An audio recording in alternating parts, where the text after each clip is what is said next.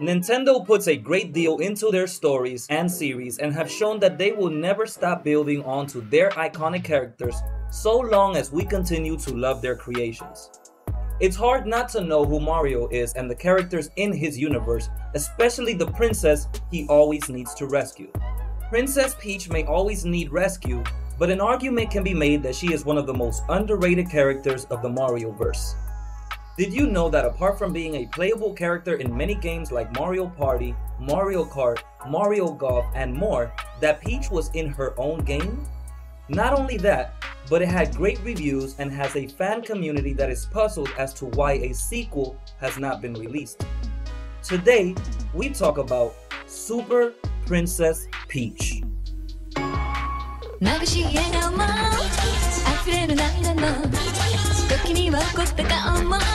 ムキにしなっていいじゃない気まぐれピーチが大冒険スーパープリンセスピーチ Super Princess Peach is a single player platform video game developed by Tose and published by, of course, Nintendo back in 2005 for the Nintendo DS. Tose, also known as Tose Software, is a Japanese game development company based out in Kyoto. They are known for several Dragon Ball games and for developing Nintendo's Game & Watch Gallery series. Super Princess Peach is actually the second time Princess Toadstool was the main character in a game, as she was first in Princess Toadstool's Castle Run game. It was a game watch released by Nintendo in 1990 where your objective is to dodge the Koopa Troopas as you make your way to the castle. But let's face it, Princess Peach deserved a real game. And that's where Super Princess Peach comes in. The game follows Peach in a role reversal as she must now be the one whom rescues Mario, Luigi, and the Toads who have been kidnapped by Bowser and taken to Vibe Island. Princess Peach investigates through 8 worlds that all contain 6 levels and a boss fight inside the Vibe Island world map. Peach must also rescue 3 toads in each level with the bosses having a toad contained in a bubble. You must rescue all toads to be able to beat the last boss, Bowser. Bowser has not only kidnapped Mario, Luigi, and the Toads, but has also stolen the Vibe Scepter, which is a magical item capable of influencing emotions. The game revolves around emotions, given that the island and the scepter both have the word vibe, which is a person's emotional state. Princess Peach is not alone as she adventures with her talking umbrella, Perry, given to her by Toadsworth. Princess Peach is able to trigger one of four vibe abilities joy, rage, gloom, and calm. These are shown as four colored heart panels on the bottom of the screen that each represent a different vibe which you must touch to trigger. To be able to use these abilities, you must have enough energy in the vibe gauge, which is filled by collecting blue gems that are scattered around each stage. Joy makes Peach extremely happy and allows her to float and create a tornado. Fast music and a happy tone is played when activated. Rage makes Peach angry and catch fire, which lights up lamps, fuels hot air balloons, and the area around her. She can also stomp on the ground after a jump to shake the ground to stun enemies and set off switches. Gloom makes Peach become sad and cry, causing her to run faster.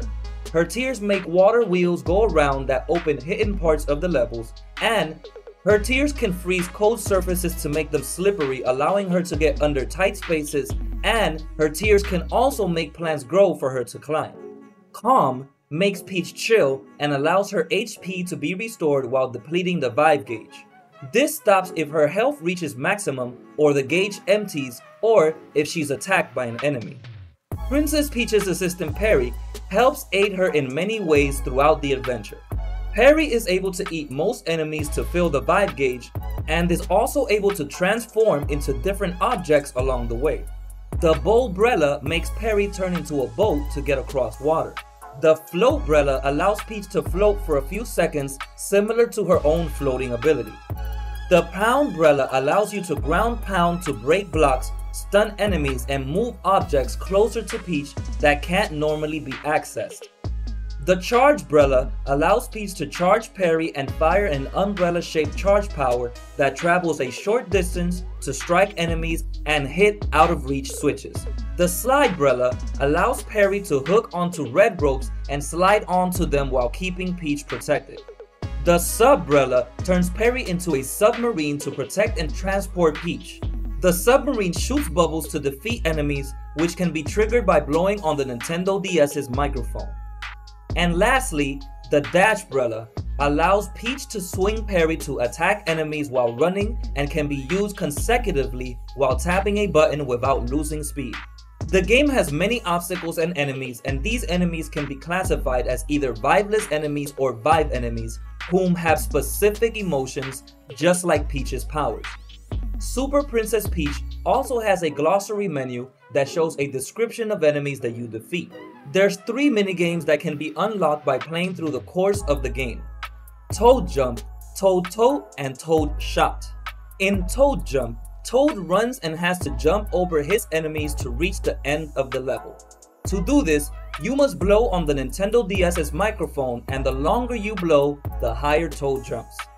In Toad Tote, you must use the Nintendo DS's stylus pen to drag Toad through one of 10 fiery environments without touching fire or spikes or running out of time.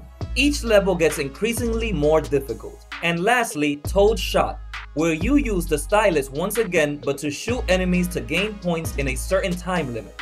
Points can be lost if you accidentally shoot Mario or Luigi. There are 8 puzzles that can be assembled by collecting the puzzle pieces throughout the levels and purchasing them from the shop. The game also has a music room where you can listen to the game's soundtrack and some of Peach's voiceovers. This can be unlocked by finding or purchasing at least one soundtrack at the shop. Super Princess Peach was very successful. It received great reviews and has sold over 1 million copies worldwide. Numerous sites have placed the game on their list of top games that deserve a sequel, and debates have been made about Princess Peach being the most important iconic female Nintendo character. So where is the sequel? You would think that with the sales alone that Nintendo would have already released a sequel to Super Princess Peach, but sadly, they haven't even mentioned it. What they have done is leave hints and easter eggs leaving references to the sequel. In Super Princess Peach after each boss battle, Peach and Perry rest before going to the next level and during that resting period, Perry has a reoccurring dream that gives details about his past. It turns out that Perry was originally a human boy whom was taken from his grandfather and turned into an umbrella. He managed to escape the group who kidnapped him and used his magic to attract a traveling merchant Toad who added him to his wares. This led to Toadsworth eventually meeting Perry and purchasing him from the merchant, which leads to Toadsworth eventually giving him to Peach. Nintendo showed that there's much more to Perry than meets the eye, and they seem to hint that the sequel would be about Peach helping Perry return to human form. This would have been a great idea as it would allow Peach to venture off on her own adventure without the need of Mario and Luigi. The sequel would of course have more emotions and more moves and allow Princess Peach to have a solid series. However, Nintendo left an easter egg that pretty much kills any hope for that specific sequel. While it may have seemed nice that Perry shows up as a trophy for Super Smash Bros. Brawl, it was definitely not nice to see him as a spirit in Super Smash Bros. Ultimate. This means that Nintendo decided that Perry's character is now dead and given the fact that it has been 17 years since the last game was released, it doesn't seem to be a series Nintendo wished to pursue. To add salt to the injury, there was also a controversy over what Nintendo's intentions were, with Ryan Davis from GameSpot saying, quote, There's something rather sexist about the idea that Princess Peach's big secret weapon is that she can get really overly emotional at the drop of a hat. Or, Bryn Williams from GameSpy asking if Nintendo was trying to say that all females were emos. It is unknown if these type of comments affected the development of any sequel. This is the unfortunate story of Super Princess Peach. There is a minigame that is playable during the intro sequence when Peach obtains Perry from Toadsworth. It can be replayed by holding R and pressing start. Famitsu created a manga called The Great Adventures of Peach based off the Super Princess Peach game. All the characters from the game, including the bosses, are in the manga. Peach, Toad, and Perry show up in many Famitsu magazines. That is it for today. But before you go, are you a Princess Peach fan? Do you feel that she doesn't get enough love in the Mario verse? How do you feel about a sequel? Let us know what you think in the comments and don't forget to like and subscribe for more content like this at Game Circle TV.